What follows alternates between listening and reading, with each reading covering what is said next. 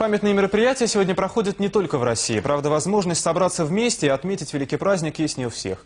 В Эстонии День Победы встречают фактически на осадном положении.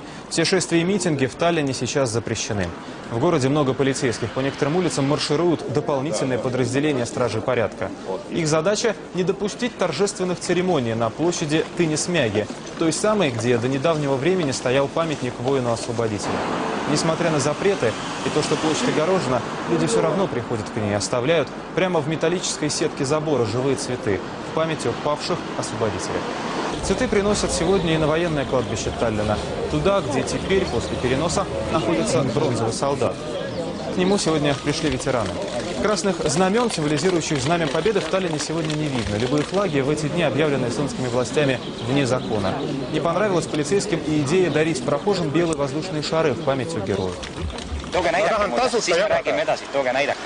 Объясните, пожалуйста, почему это произошло?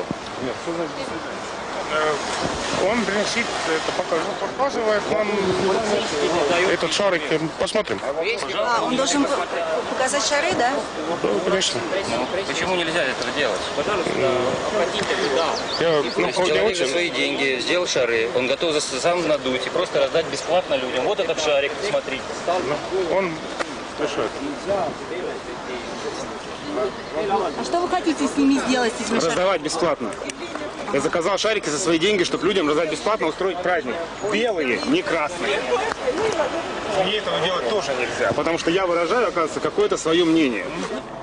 Сейчас, похоже, все, что напоминает о подвиге советских солдат, нервирует эстонских стражей порядка.